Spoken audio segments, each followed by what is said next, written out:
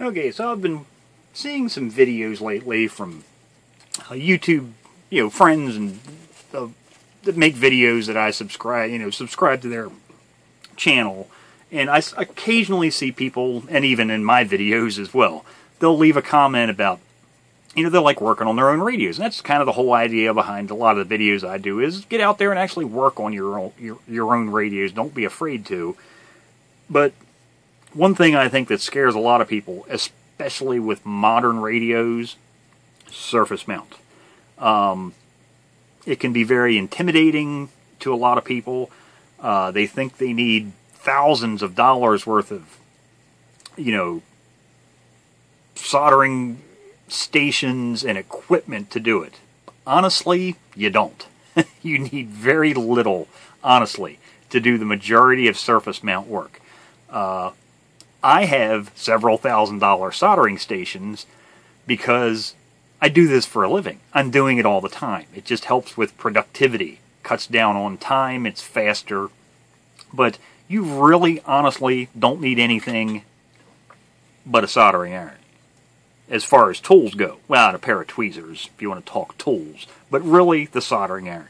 You don't need hot air. You don't need reflow ovens. You don't need anything super fancy. So, you know, I a lot of times you might, I would use something like this, which is a hot air reflow. Um, if I'm removing parts, I have thermal tweezers I can use. We've got all kinds of fancy tools. But honestly, you don't need all that equipment. The only thing you need, as far as desoldering, the comp- removing the component, really all you need is a surface mount removal alloy. Now, I happen to have one here. It's something made by SRA, I think. Uh, yeah, SRA. This one's called Fast Chip. Um, a lot of people might be familiar with Quick Chip, which is another one, different company, but Quick Chip. They're all basically this, and there's some other companies that make these, but you can see it's a SMD removal alloy. This is not solder. Whatever you do when we get done using this, and I will show you, you want to remove all of this stuff because it definitely is not solder. You don't want to be using this stuff to hold components on your board. The reason is solder, by its nature, is usually, like this stuff here, flexible. You can sit here and flex it for quite a while. You hasn't broken, hasn't broken. You can just keep bending and bending, and it's kind of like a piece of wire. It just keeps bending, doesn't break. It's very flexible. This surface mount removal alloy is not. This stuff is extremely fragile. You can hear that. It just snaps off. Doesn't bend hardly at all. It just snaps off. That is no good for doing soldering. Because if you use something like this once you get your part off and you reinstall your new one and there's too much of this stuff on there, that's what you're going to end up with is brittle solder joints that could very possibly and very likely will fail sooner than later. But for removing components, this stuff is the bee's knees. It's the shiznit, whatever you want to call it. Now, the whole key to using this stuff is you want to use a lot of flux. Now, I buy it in tubes. You get a lot of it in a tube. Actually, there's a lot of it missing out of here. I've used it.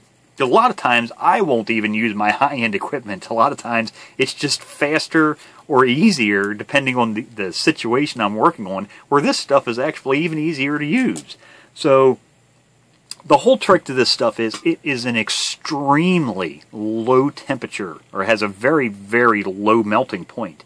So if you heat this stuff up with your soldering iron to the temperature that you would normally solder at, it stays fluid for a lot longer than solder will. Because usually, when, if you're familiar with soldering, you solder. When you pull the soldering iron away, you can actually watch the solder. It'll change. It'll get a you know kind of a smoked look. It'll be nice and shiny, and whoosh, it'll just kind of glaze over. That's because the solder has gone from a liquid state to a solid. This stuff does not act like that. It will stay a liquid for a very long time, relatively speaking, but for a, a, a long time. Which the whole idea is it allows you time to remove components. So it allows you to flood all you know all the sides of whatever component you're trying to remove with this desoldering alloy, and then you can just come in with a pair of tweezers, pick the part up off the board while all of that solder, you know, no more soldering iron. You've pulled the soldering iron away. It'll still be molten. You can come in with your tweezers, pick the part up off, and remove it. Now again, The whole key to anything you do when you're doing uh, surface mount, actually the first thing is, is practice. So this is not actually a circuit. This is a practice board, and you can see it's some, yeah, I don't read Chinese, so I have no idea what that says. I actually got, because uh, I was doing some soldering videos in the past, and I had planned at some point in time on doing surface mount ones, and I kind of got spurred to do this one because of, like I say, some of the videos I've been seeing recently, people saying about they're intimidated about doing surface mount. Um, you can buy these kits on eBay, you know, they come in a little bag, they're cheap as dirt, and they're cheap, I mean really cheap boards. Um, but you get this, comes with all the components, it, you know, it comes with a part for every single location, so it comes with ICs, you know, comes with everything you need. Comes with transistors and some diodes and resistor networks. Comes with everything you need to fill in every hole. But they're great for practicing. And honestly, if you can solder one of these things, trust me, you can solder anything because these are about the lowest quality, cheap pieces of junk circuit boards you're ever going to see in your entire life. You really need to burnish these boards before you try to solder them. Now this one, I actually already started to just to, I wanted to brighten up some of it but if I come in here with my fiberglass brush, I get the angle just right, you can see how it's really shiny here, here, and right here. Well, that's what I just burnished. Everything else on this board's dark. yeah, if you try to take those parts over there and stick, plop them on this board and solder them, it ain't going to happen, guys and gals. Solder just will not stick to these boards until you clean them. They're just really, honestly, crap quality. So a little bit of cleanup, they work fine for practicing though. But if you can solder one of these, you should have no problem desoldering and soldering components on your, you know, in your radio or television or whatever you happen happen to be tinkering with. So what I want to show is how do you remove, let's say we we want to replace that IC right there. So let's say this is a, a real circuit. Um, this board's out of a radio. We've diagnosed that IC is bad. We need to replace it. But we don't have uh, the proper hot air reflow tool or we don't have the proper tweezers with the, the proper tips to remove this. Where we're going to use this. We even have a new IC right there to put in it. So the whole key to doing anything, soldering or desoldering, when it comes to surface mount is flux, flux, flux. I will say that again. Flux, flux, flux. Flux and cleaning are the two most important things you can do to have a successful desoldering and soldering experience when you're dealing with surface mount. Flux is a cleaning agent. As you heat it up, actually, kind of, I guess you could say it becomes slightly corrosive or mildly corrosive, but what it does is it etch, slightly etches the traces, helps to clean them up. But it also helps to break the bond. So there's kind of a wetting action there. And if you've ever taken a soldering iron you try to pull, you know, you solder something, you try to pull your side. If you've been on there for a while and all the flux that's inside of, you know, a normal solder like this has burned up, you'll notice that when you go to pull your soldering iron away, the solder doesn't just immediately break off. It'll kind of be stuck to the iron and still stuck down to the part, and you're left with a little, little, you know, pointy part that comes out. It doesn't just ball up and wick right back in. Where if you touch a little bit of flux to it and try that again, as soon as you go to pull the iron away, it cleanly breaks and you'll have a nice shiny solder joint. Flux helps with that wetting action and the flow out of the solder, so we want a lot of flux. And more is better than not enough because flux is easy to clean off. So if we get too much on this board, it ain't going to hurt nothing. We can just clean that off with some IPA or isopropyl alcohol later, which we will do. So I'm going to flood that whole thing with lots of flux. Now, as far as flux goes, you can use gel fluxes. Um, this is what Kingbo RMA 218 flux. Okay, so this is a gel flux. A little bit squeezed out here. Okay, see that's a gel flux. That works fine. I've actually kind of gotten away from the gel fluxes. They're actually, in my opinion, can be a little bit messy sometimes. Um, or you can use liquid fluxes. Now I make my own and I buy pre-made. So this one is homemade. It's just pure rosin cake. I buy hard, highly refined rosin cakes, chip up the chip that up, put it into a bottle and dissolve it with 99.9% uh, IPA, and I also buy it. Now, um, I like this. This is made by Circuit Works. It's composition CW3220. I have written on the bottle there. Now the only downfall with that flux is, I think the smallest container that they that Circuit Works sells this stuff in is like a gallon bottle, might be a half gallon, but I, I think it's a gallon jug is the smallest quantity they sell. That's more flux than I will use in 10 years. Um, but luckily, thanks to eBay, there's a guy on eBay that repackages it. Actually, he even has a website, Dick or Dickie, yeah, DickiesGarageSale.com. But I just get it on eBay. And bottle like this lasts me about a year. So actually, it's about time for me to order a new one. I just use this bottle to refill my little nail polish bottle there. But yeah, Circuit Works CW3220. Really good flux. So we've flooded the area with that. We're going to take our soldering iron, actually make sure, yep, it's turned on. And we just want to flood. See how fast and easy that stuff melts. Flood both sides of the component. And you can see parts just bouncing around. And now I'm going to pull the soldering iron away. Still have plenty of time. You see that? Still pull it off. That stuff's still molten. It's what I say. It has a very, very low melting point. So we got a blob on there that we need to get rid of now because we need to put a part back down there. So we want to remove all that. And if you don't have desoldering irons, you really, again, you don't need anything fancy. Just plain old desoldering braid works just fine. Actually, it's it's actually really good for cleaning up the traces later because we want to make sure we get all of this stuff off of the board. We don't want to have a lot of this alloy left. Um, it's actually the last thing you really want to happen. Uh, there's some wire cutters here. And another thing to have handy, you may not have seen at a camera view, when you're doing stuff like this, now you don't need a fancy little uh, surface mount, you know, station like this. This holds like, some cleaning brushes and sponges and has this nice little thing to drop hot parts onto and to clean off tips and whatnot. You don't need anything fancy like that. But before you do something like this, removing parts, you know, before you pull the hot part off, make sure you have somewhere to lay it. So even a piece of cardboard or a piece of paper folded up a couple times, but somewhere where once you've got the part off the board, you can pick it up. You have somewhere to drop it. You don't have to sit there and hold it until it cools down. But so anyhow, we want to make sure we get all this goopy stuff cleaned off of here.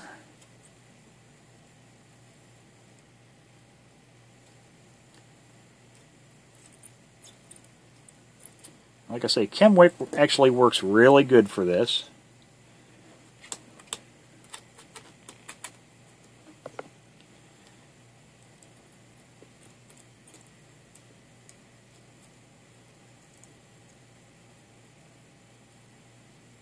Okay, now I've got most of it cleaned off, but I can't really see because there's just so much flux residue and goop on there. You see all that brown stuff? You really can't see what the hell you're doing. That's, again, where it comes in clean, clean, clean. So I'll just grab a chem wipe, a bit of isopropyl alcohol. I'm Just going to wipe this down. So I can actually see what I'm doing because it's kind of hard to work on stuff if you can't see what the heck you're doing.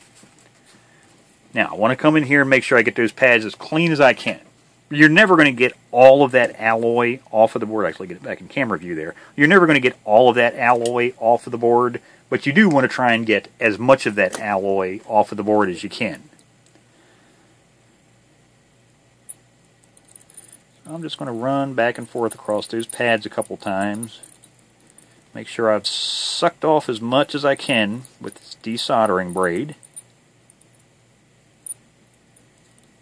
Now you don't want to hold it on there for an extremely long time. Um, actually, I've used this one so many times in demonstrations. You can actually see there's one pad, which actually is, isn't a solder pad. It's actually meant like as a test point, I guess. But you can see that's actually been lifted off. Again, this is a really cheap board. But you don't want to leave your soldering iron on here for a really long time. You have to remember, it's a fiberglass circuit board with epoxy. The epoxy actually starts to decompose at the temperature lower than your soldering iron is set to. So if you leave a soldering iron on here too long, you, the epoxy actually starts to decompose, and what happens is the circuit traces will come loose. Now you're going to have pads to try to repair possible circuit traces, so you don't want to have to go through all of that. So always, when you're desoldering and doing stuff like that, always try to keep moving. You don't want to keep concentrated heat in one spot for an extremely long time because you do stand a chance of damage, especially when you're using something like desoldering braid because you're dragging that across when you're cleaning the pads. If you leave this, set it there like that, and just wait and wait and wait, and then go to drag it across, you could rip that trace off. So now that we've got that cleaned off pretty good, we want to, again, come in, grab a new one, bit of IPA, clean the board off really well.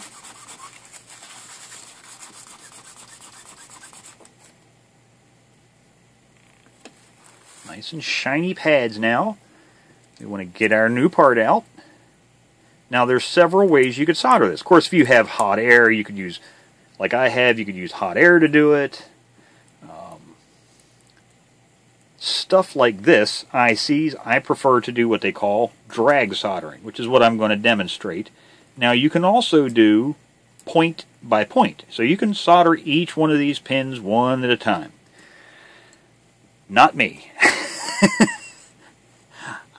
I have work to do and don't have time for every time I have to replace a surface mount component. I don't have time to be hand soldering each individual pin. I need to do this with some type of speed. So I do drag soldering. That's where it comes in handy buying these practice boards, stuff like this, because now you have somewhere to practice your drag soldering skills. You know, you can go in, try it, perfect your method.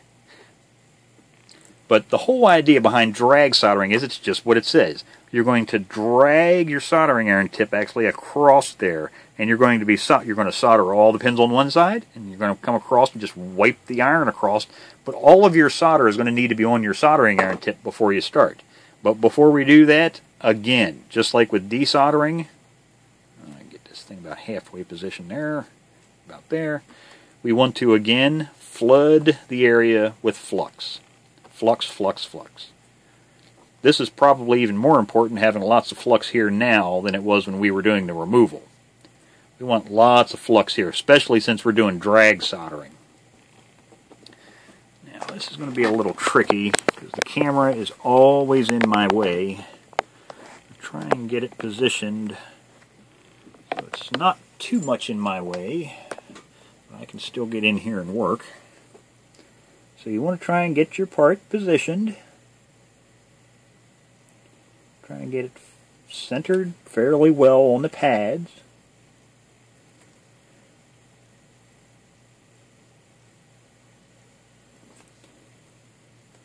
And centered left to right. Now, it doesn't need to be 100% perfect. If it's a little bit cockeyed or crooked, it's not going to kill it, quite honestly.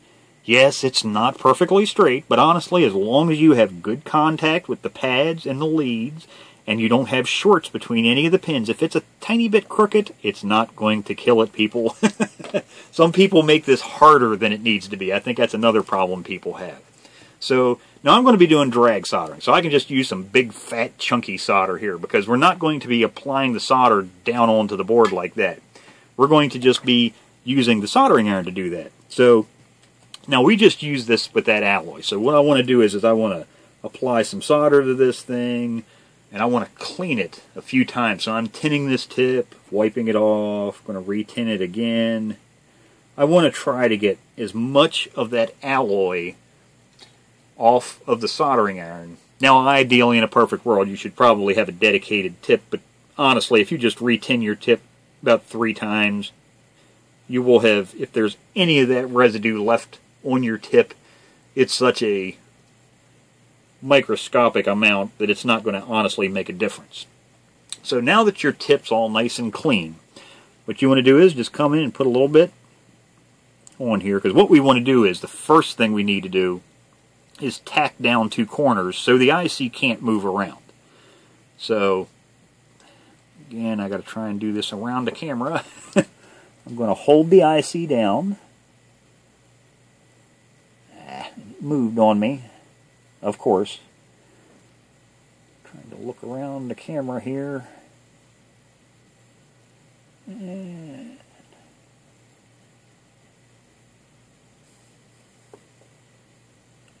There's one corner tacked.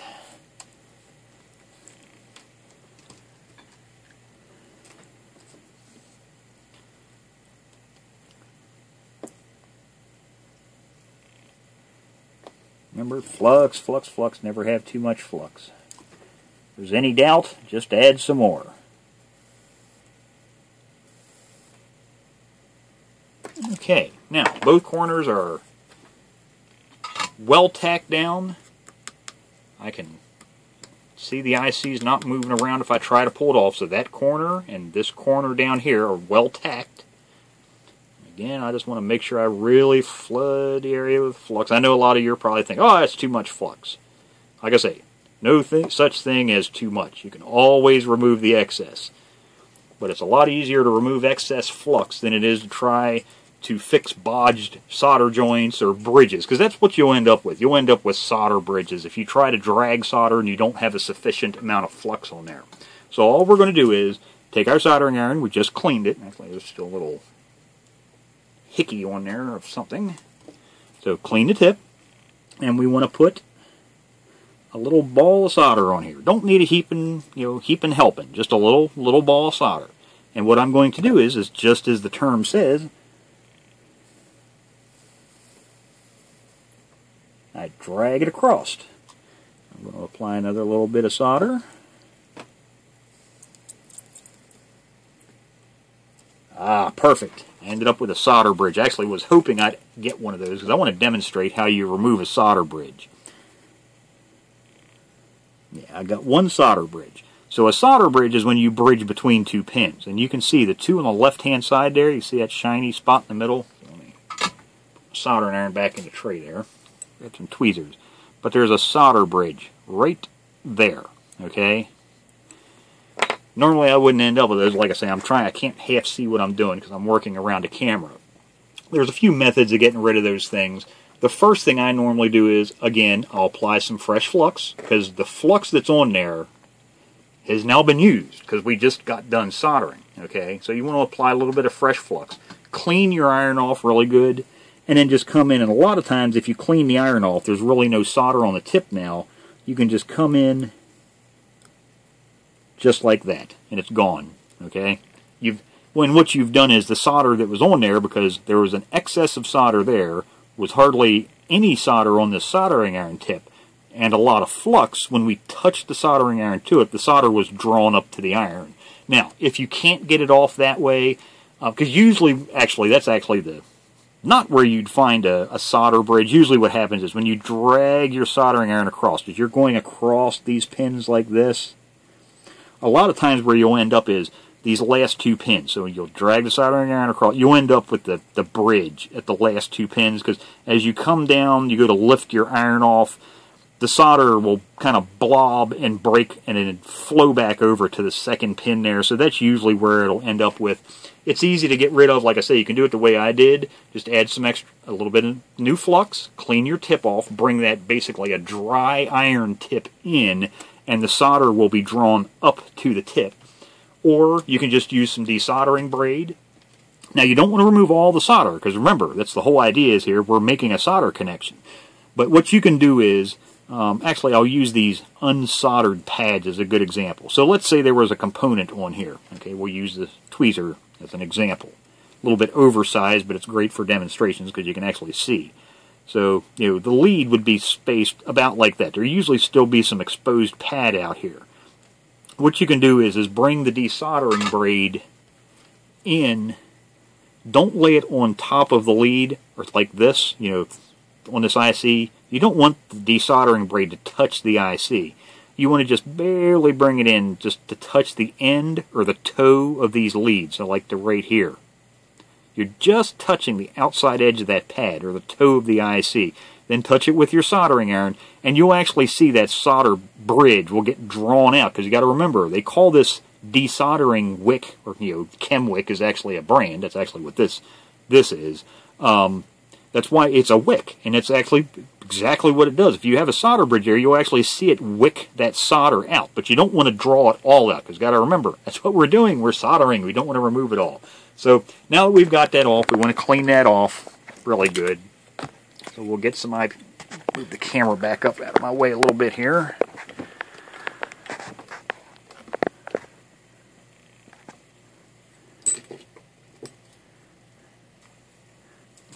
IPA in here.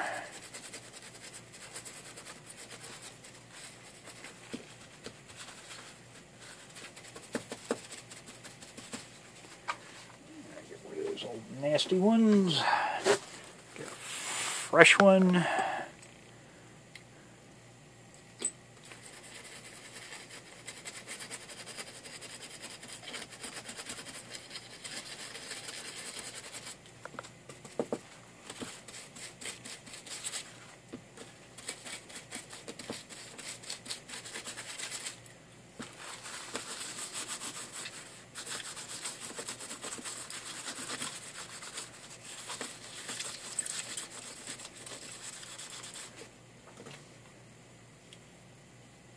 dry off there a little bit and as we can see get the camera to focus focus focus focus. See some nice solder joints? No bridges. The one bridge we ha did have there we easily pulled off with a, what I call the dry iron technique. So you know add more flux come in with a dry iron and that solder will be drawn to it yeah, like I say, don't make it any more difficult than you need to. You don't need fancy tools. A little bit of this alloy. Uh, the whole trick to using the alloy to get really good flow out of that stuff, flux, and the whole key to getting a good solder connection and preventing solder bridges, drawing off solder bridges, again, flux. That's the whole key, and I think that's probably one of the big stumbling blocks for a lot of people when they try to do surface mount work. They're not using, they're either not using flux at all, or they're not using enough of it. More is better. Um, again, I've actually gotten to the point where I prefer the liquid flux over the gel fluxes. The gel fluxes, when you apply them for starters, it's a gel and it's kind of opaque. It's kind of hard to see through. This stuff, it's in my opinion a little bit easier to clean up. It's already dissolved in alcohol. That's what's in this bottle. The flux dissolved in IPA. So a little bit, in my opinion, a little bit easier to remove. It's also more transparent, so easier to see what you're doing.